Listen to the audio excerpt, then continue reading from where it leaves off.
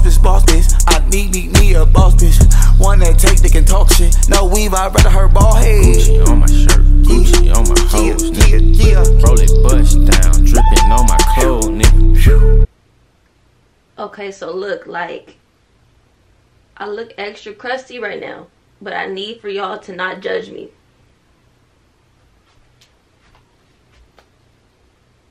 I know, I, ah, I know, I know, I know, I know, I know. It's not acceptable. It's, it's not acceptable. It's dry, it's crusty, it's dusty, and yeah but it's been six months so i want to do like a little a length check but at the same time i don't know what's going to determine how long my hair has gotten obviously you can see it now compared to how it looked in june when i cut it but yeah i'm gonna just take some random pieces so Oh, it's dry. Maybe I should do this after I wash it. Mm, I just do it twice. So in the back, this what we looking like. Hold on, wait. You can't even see it. You can't even see it. Okay. In the back. Back sections. This this what we looking like. Right, right. What's this? above my collarbone yeah it's right there and then the other side oh my lips chapped too oh my god i'm disappointed with myself this don't seem right it's not even okay whatever in front of my ears so the sides they go like right there to the bottom of my jaw, I guess.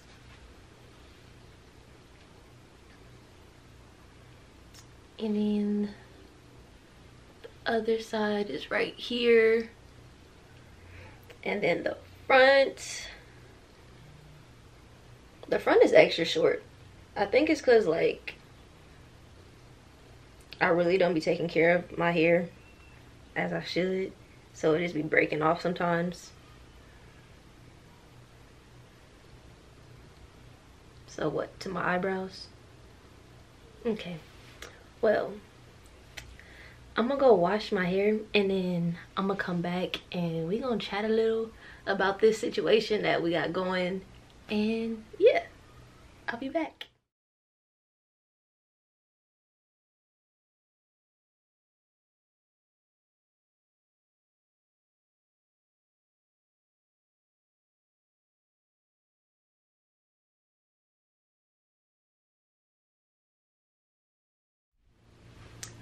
okay so i'm back.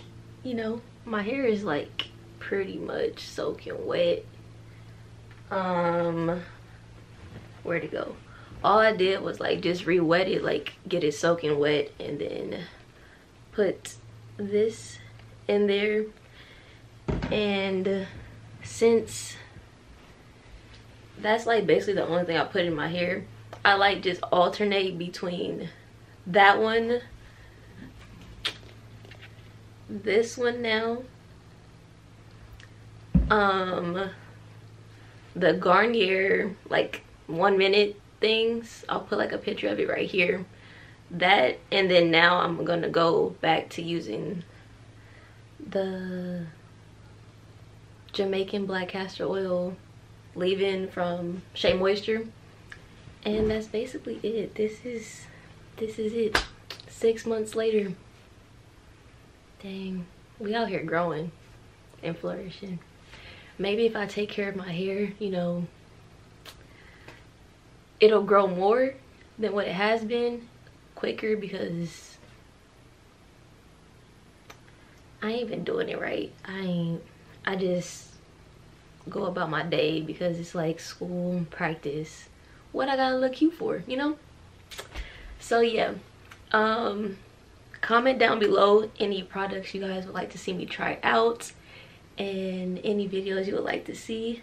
Thanks for watching. Bye.